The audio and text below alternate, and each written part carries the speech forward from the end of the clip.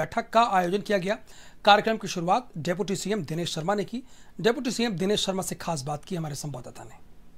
लगातार बीजेपी जो है अपने अभियान के तरीके जो है लोगों से जोड़ रही है। अब युवा संसद जो है आज वो बैठाई गई। इसके अलावा अनुसूचित जनजाति का जो है वो सम्मेलन किया गया, जिसमें खुद डिप्टी सीएम दिनेश शर्मा जी मौजूद थे। हम उनसे बात करेंगे।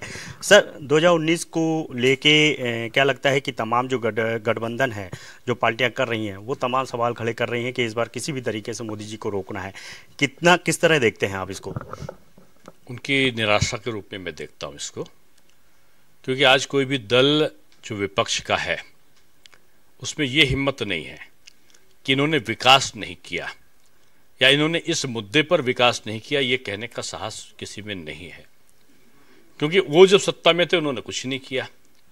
तो आज विकास के नाम पर वो घेरने के बजाय, वो कभी जात के नाम पर घेर रहे हैं, कभी संप्रदाय के नाम पर घेर रहे हैं, कभी कहते हैं हम आपस में मिल जाएँगे।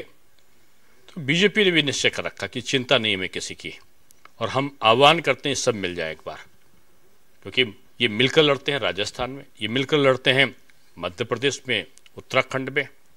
जहाँ जहाँ मिलकर लड़ते हैं, ये हारते हैं। और अब की भी चाहते हैं हम लोग कि उत्तर प्रदेश में एक बार राष्ट्रवादी ताकतों का मुकाबला इन सारी मिली जुली ताकतों के साथ में हो जाए। तो ये तिहत्तर, अब की बार तिहत्तर पार, इसका हम लोगों ने नारा दिया है। क्या लगता है सर कि रायबरेली में बीजेपी जो है अपना परचम फहराएगी इस बार? रायबरेली में नहीं, पूरे उत्तर प्रदेश में फहराएगी और आपकी पूरे उत्तर प्रदेश में बहुत से दल ऐसे होंगे जिनका खाता नहीं खुलेगा।